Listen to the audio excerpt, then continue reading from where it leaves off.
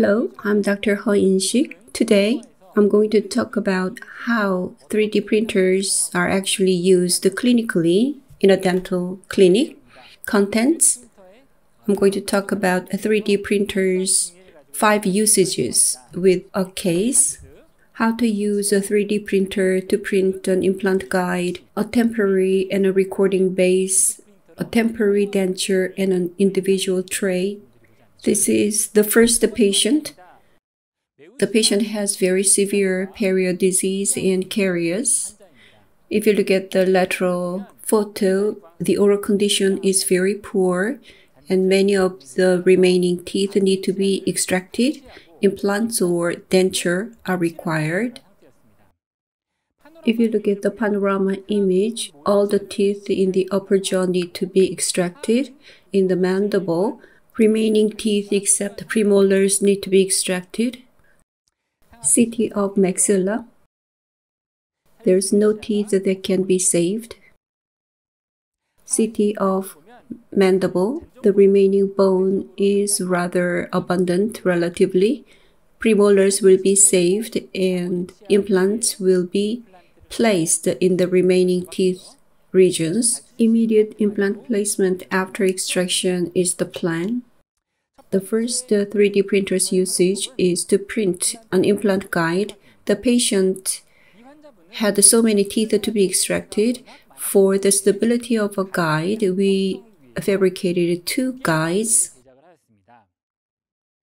One is for the lower anterior and the right molars. The guide is designed and fabricated like this. And separately, a guide for lower left premolars was designed like this. We decided to come up with this idea to make the stable guides. Like this, two guides were printed before surgery, before extraction. At the same time, temporaries were designed using the dental system to be delivered right after placing the implants. The left anterior and right parts are all designed and printed in advance. This is before extraction. Like this, many teeth were extracted. After extracting lower anterior teeth and canines, in the lateral incisor position, two MS implants, and in the canine area, TS implants were placed to deliver a temporary. Abutments were connected immediately. Bone was grafted in the remaining area of the extraction socket. It is sutured like this. In the first and second molar area, in the right mandible, implants were placed flapless like this and abutments were connected. The left molars were extracted like this, and an implant was placed, but the extraction socket gap was quite large. Primary stability was not certain, so bone grafting was done and the temporary tooth was not connected. It is sutured. Temporary teeth were printed in advance before surgery. The anterior teeth and the right temporary crowns were completed like this. The third 3D printer's usage is to fabricate a recording base. Before extraction, this situation is made into a model. On the model, the teeth were removed. Temporary denture will be delivered right after extraction like this, the base was made. As such, the base was printed for a recording base. If the thickness is too thin, there are areas that are not printed properly, but it's not a problem to be used as a recording base. Ready-made wax rim is mounted and it is inserted into the mouth of a patient. The occlusal relations was acquired, and the acquired relations will be scanned using a model scanner like this. It is mounted on the model scanner just like snowboarding on the field of snow. It is moving side to side as it is being scanned. When many teeth remain and for a fixed prosthesis, intraoral scanner is good enough to make a prosthesis in a modelless way. However, like this, when a denture or full mouth restoration is required, model scanner is much more efficient than using an intraoral scanner. Recording base is used to acquire occlusal relations. The next step is fabricating a temporary denture. After setting the boundary on the denture base, the teeth are aligned the denture base and teeth are connected. Lastly, the overjet overbite need to be checked occlusal relations need to be checked. Next, the final positions are designed, then 3D printing will be the next step. The supporters need to be attached to the inside of the denture, not on the teeth. When we fabricate a temporary denture, the teeth of the denture and denture base can be printed separately and attached later. The denture base uses the pink resin And the teeth are made with the tooth color resin and they are printed and attached, but printing the denture base and teeth together is the preferred method. Like this, supporters are attached to the inside of the denture base, and once the denture is printed, all the supporters need to be removed. Anyway, the inside of the denture needs to be rebased because during the rich healing period, changes are occurring. So accurate fitting of the inside of the denture base may not be necessary. After the adjustment of the inside, gingiva coloring should be done using flowable resin. The gingiva color can be made. What you're seeing is using a different flipper. So for gingiva coloring resin is used and it is cured. And now you can see the gingiva part. The inside of the denture base is rebased so that it can fit in the oral situation of the patient.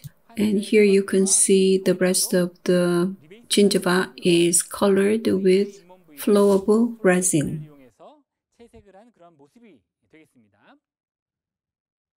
After temporary denture is completed, it is moved into the mouth of the patient to check the function. After about three months, it is time to take impression for the final prosthesis. The abutments and the healing abutments that have been used are removed and scan bodies are connected. And the scan is acquired using the 3Shape dental system program, the abutments and the final prosthesis are designed in a modelless way at the same time. Left, right, and the posterior prosthesis are designed. So posterior prosthesis is designed first. In this case, a temporary denture is used in the upper jaw, so PMMA milling is not really required for accurate occlusion. So the abutments and the final prosthesis were fabricated at the same time. The individual abutments were mounted first before the final prosthesis was delivered. In the anterior region, after posterior prosthesis is completed, the anterior part is fabricated separately. The temporary denture that had been used was removed. Ready-made abutments were removed and scan bodies were connected to acquire the scan. canines, anterior teeth, and custom abutments were designed, and the custom abutments were mounted before mounting the final prosthesis. In the lower left premolar area, caries is quite severe. So, and the treatment was done. Likewise, we did the Modelless final prosthesis design, and the final prosthesis was completed. At last, it's time to fabricate the final denture for maxilla. For this, the dentulous healed model is scanned using a model scanner. After setting the area like this, the individual tray is designed for final impression taking. The handle and finger stops are mounted. This is the completed design. The excess rubber impression materials can go out through the holes and it is brought into the 3D printing program and supporters are attached. Finally, the individual tray is printed. The supporters are removed and this is the completed individual tray. After border molding, cement is applied inside and the final impression is taken.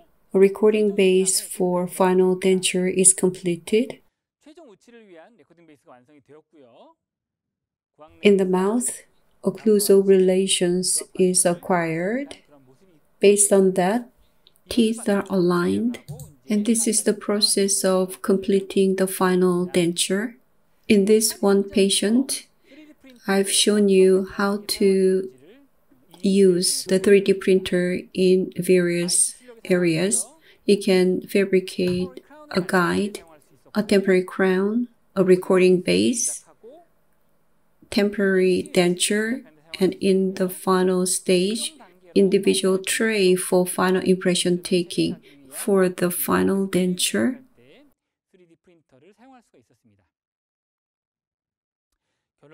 Conclusion First, if you use a 3D printer, what are the advantages? First, you can save a lot of time going back and forth. The lab work should go back and forth. That time can be saved. So we can deliver the prosthesis that the patient wants in a very short time reducing the toothless period for the patient. Most of all, treatment predictability will be increased. Lastly, let's summarize about the 3D printers.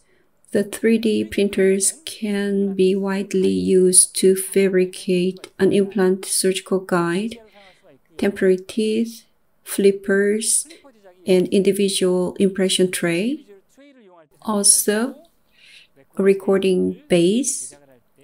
It can be very useful. Also, temporary denture can be fabricated before moving on to the final denture. It can also be used to fabricate the orthojigs in a model for clear appliances. It can come in very handy and useful, and it is an essential digital equipment.